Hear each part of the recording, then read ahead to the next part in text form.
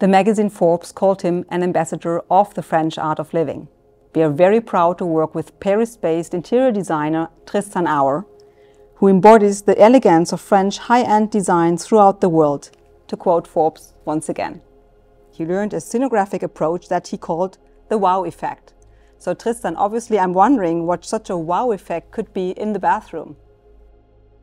Yes, yes. You, you know the inspiration that's very strong because working for Axor, working for this type of taps designed by uh, uh, by Jean-Marie Massaud, that was a very good and strong inspiration for me to create this uh, decor, this fantasy uh, based on on a movie, based on a movie inspired by Blade Runner from Ridley Scott that I like like particularly, and and which is very strong in uh, energy, in story and emotion, and in colors. There is a real, real strong ambience which goes perfectly well with uh, with our subject today. So if we uh, go to this bathroom concept, the Blade Runner bathroom, um, and with the collection Axor Edge from Jean-Marie Massaud, how would you describe the color concept in this idea? Uh, as I, I put the decor in uh, Hong Kong, let's say the 90s, uh, but that time uh, I thought about uh, as I'm doing interiors made to measure to client, I thought about which client could it be. And this guy is certainly very educated, passionate about arts, passionate about object as I am. And uh, so he's very eclectic. And um, Hong Kong is a city which is at the cross of two different civilizations uh, one which is a British Empire and the other one which is China.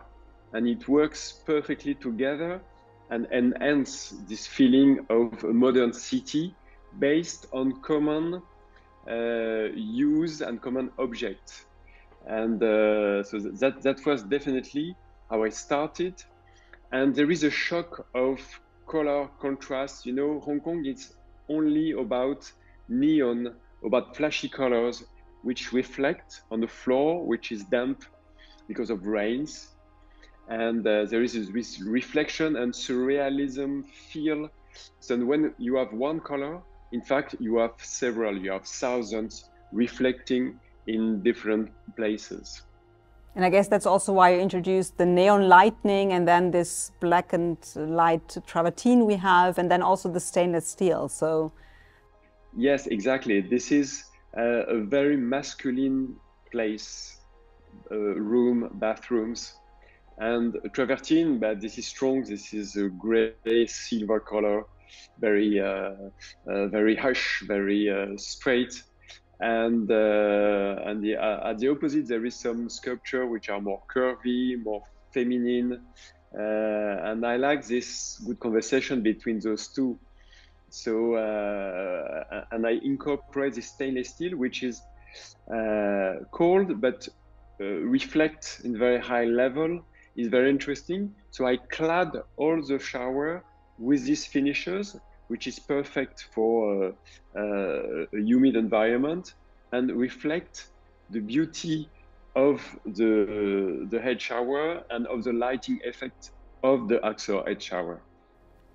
It definitely is a perfect platform for our collection.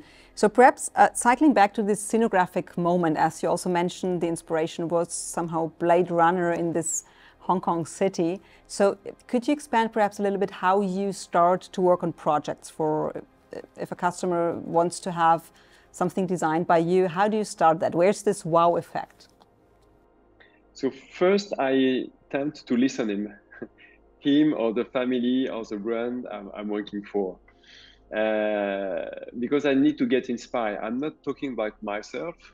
I'm not really interested in myself, but more talking about the client, about the personality of the client. And for this reason, I need to understand and know what it is to uh, suddenly enhance it and reveal his personality. And more than the personality, this is sometimes the relationship within a family between all the all, all different people. So first is to listen without any pencil, and then I start to think about something. Uh, have uh, uh, and those story echo to what I've used to live and all my uh, uh, culture or non-culture into in terms of cinematographic, interior design, architectures or whatever. And then I start to design for himself, and then it's very very fast. Uh, it goes out as I'm speaking, so very fluidly, and uh, I know instantly what will be not what they want, but what they need. So actually, the choice of colors in the bathroom or in an interior design project depends very much on the personality of, of, of the client.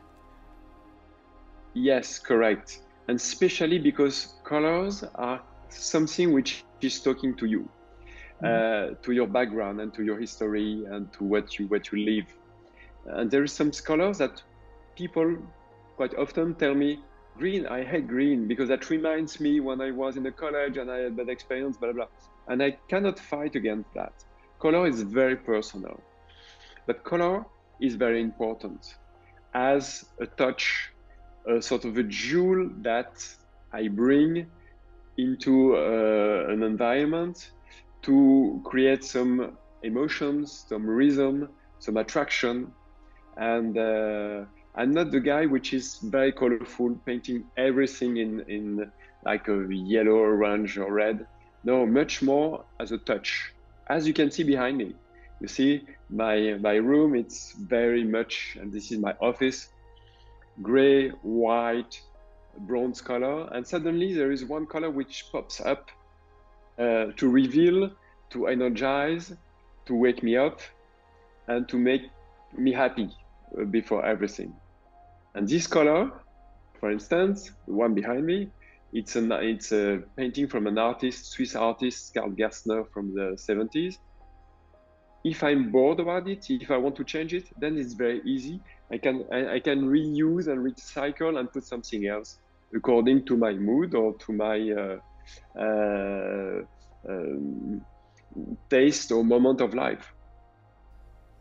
And it, you, you, have been doing interior projects internationally also for many, many years. So do you see a development of how colors have been applied or what customers have been asking for in, let's say, 20 years ago, 10 years ago, and what is now and in the future happening uh, more related to color trends, especially perhaps in the bathroom? Uh, so yes, there is some trends in, in color, Are there some trends in, in interior design. Uh, through the age, I started in the 90s, everything was white. Uh, white, white, white, and black. And then we turned it into more uh, textures, natural textures, wood, natural wood. Uh, and since three, four years now, it's very colorful. There is colors everywhere, even in bathrooms. And I did some project, especially in bathrooms, hotel project in Paris, and I remember my bathrooms that I uh, I had in my uh, my apartment when I was living with, with, with my mother when I was a child, and it was at that time. Remember, I'm sure that you you you, you do uh, all the appliances, everything, the bathtub including, was colored. Nothing was white, and my mother's was burgundy, and on the wall there were this burgundy tiles as well. So when I recreate for this hotel project, this high-end color bathrooms, uh, referring to this trend to the early 80s, uh, that we find again the trend today of those very uh, high, high, colorful, and uh, uh, and even speaking about the, the, the taps and finishes, we used to to, to, to add only uh, stainless steel taps, no colors. And now finishers, meaning scholars, are coming back, which is very, very nice and makes me happy because you can combine and select and play with that. Exactly, because obviously the color of a room makes the ambience and atmosphere change, but then also the colors of the objects, including faucet, showers, accessory in the bathroom, also change. So perhaps if we cycle back to your um, Axor concept, which you developed, the Blade Runner bathroom, how do you feel about the surfaces you selected for the Axor products? Is that, I think it was, there was a lot of gold, if I don't remember, if I remember well, right? Yeah, they, they were uh, gold, bronze, and uh, and different finishes. It was uh, gloss, but it was matte on certain aspect. I like the variety of the of the Axor range of color. Uh, this is very pleasant to use. This is very rich to use as well, and uh, uh, it, to tell the truth, it was very difficult for me to select one which I like better than the other. Uh, so I select uh, a gold because it works well with all the environment. Uh, but I remember that I did other scene and options where we had like the black one or the, or the silver on the uh, so very almost impossible to, to to choose the best one and, and um, however, if you would have done the same bathroom, same concept, same idea with, uh, let's say, chrome faucet, it would completely look different. It would have a different appeal and different atmosphere. So the polished gold actually is, is, is your final choice. Yes, it was my final choice because it reflects uh, the, the blue neon around the uh, uh around the mirror, and as it's in it's a night ambience, it's it's a little bit warmer. So if I would have selected something else, I would have changed everything. You know, it's it's a question of harmony between all the different finishes and colors, and uh, sometimes it works and sometimes it, it doesn't. So uh, um, and and I like to adjust to change and to uh, with my client I never closing any doors to uh, to a new option and or new improvement.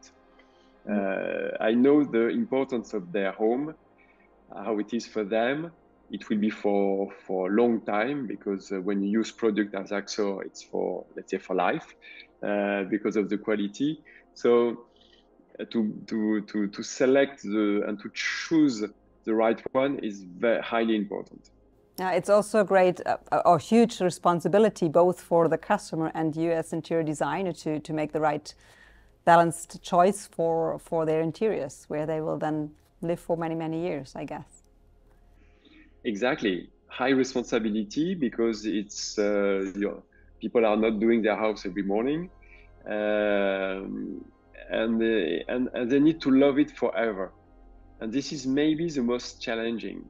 Timeless, which is a word that is coming back uh, and a, a lot, is uh, is a goal, but it's uh, uh, we shouldn't avoid to have some pleasure to consume and to have objects which are not boring but uh, well designed, good quality, good finishes, and and then you love it forever. Very interesting. Perhaps final question uh, for today: How do you apply colors in your private home? So I, I have the chance to have many homes. Uh, so I've got my Parisian apartment, which is very in phase with what's outside, what I see. So it's shades of beige, of gray, and and with uh, some touches of colors. But my um, countryside apartment uh, house, I have the chance that it's in the middle of the greenery of the forest. There is a river, and the story is uh, uh, sort of the art of fishing from uh, some from the 40s and uh, each there is not a touch of white. So each panel ceiling walls dado and doors receive a different color. Uh, sometimes i've got six seven eight colors per room. And it, it was very tricky sort of a cuisine haute cuisine to do and to adjust and to test.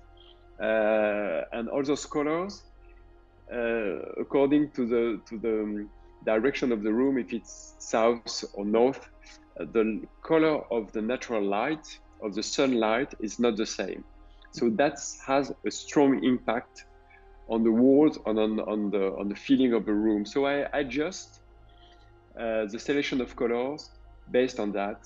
If it's a morning uh, sunset with uh, with a, with a very warm light, it's different than if it's uh, if it's a north orientation. And uh, and I learned a lot. I played a lot. I enjoyed a lot. And then I bring all the different panels paintings objects uh, to reveal this color. So that goes all together. Uh, we have to, to think when you do a, just a plain wall that it will receive other painting artworks and it has to go together. But yet it was for me just heaven to be able to have so many rooms because in total I've got like uh, 25 and uh, each of them are different with a different story and a different mood.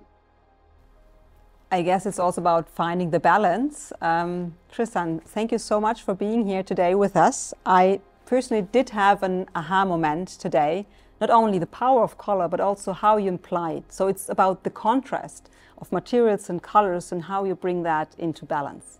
Thank you for sharing all these insights. Thanks a lot. Really appreciate.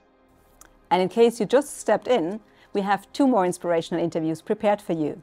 We speak to an international renowned color expert, Judith van Vliet, on the influence of colors and materials. And in part three, we have Benjamin Holzer, our head of product management, and we explore how Axor is bringing individual luxury to your bathroom.